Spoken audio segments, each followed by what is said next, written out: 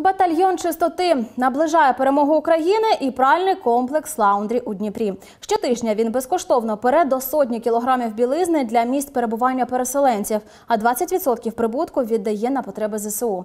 Детальніше про допомогу в тилу далі у випуску. Щодня до цих пральних машин завантажують з півтони білизни, а з війною прання стало ще більше. Пральний комплекс «Лаундрі» ледь не з першого дня вторгнення Росії взявся допомагати країні в тилу. Співпрацюють з гуртожитками, шелтерами та волонтерськими пунктами, які прихищають переселенців з гарячих точок. Один раз ми виїжджаємо, забираємо білизну. Це в середньому десь е, 100 комплектів постільної білизни та рушники. Е, Замовлення намагаємося виконати оперативно.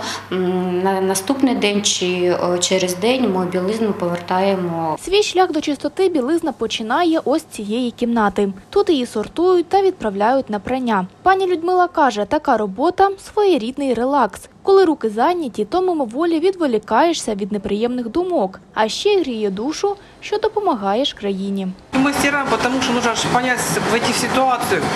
Люди где-то надо, надо ночевать, им нужно постирать, им нужно спать, отдыхать, скажем. Они, понятно, с тяжелых боевых участков уходят, уезжают. И мы помогаем как можем. Своей стране помогать надо. Наступна зупинка – сушарна кімната. Сюди білизна після прання потрапляє у вологому вигляді. Далі сушка та прасування. За ці процеси відповідальна пані Інна. Каже, хоча роботи побільшало, бідкатися не на часі, бо своєю працею допомагає іншим. мы делаем нужную работу. Вот. э, ну, как бы стимул в том, что э, мы можем помочь тоже в своей работе людям.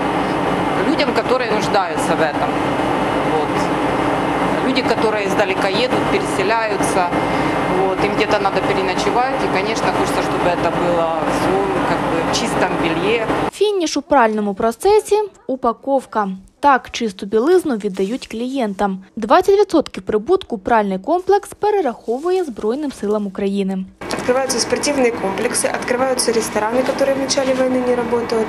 То есть э, количество клиентов у нас увеличивается. Постоянные клиенты, как сейчас, так и в начале войны, это гостиницы, хостелы, которые принимают э, гостей, которые принимают на данный момент переселенцев из других э, городов. наш пральний жіночий батальйон працює. Дар'я Пшенична, Анастасія Вельхова, Максим Мещеряков, Open News, телеканал відкритий.